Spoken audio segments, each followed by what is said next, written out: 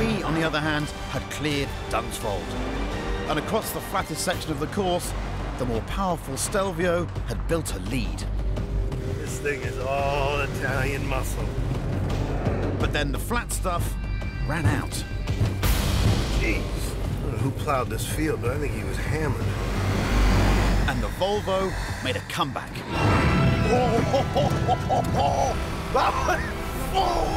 It's good off-road, this thing. We're slightly beyond the design parameters, aren't we?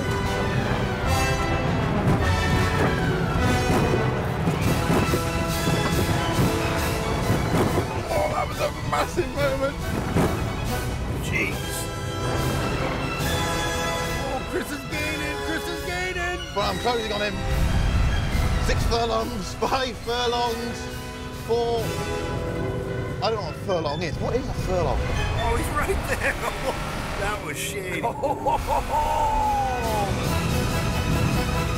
Oh, I can't finish second. I gotta win this. It's my film.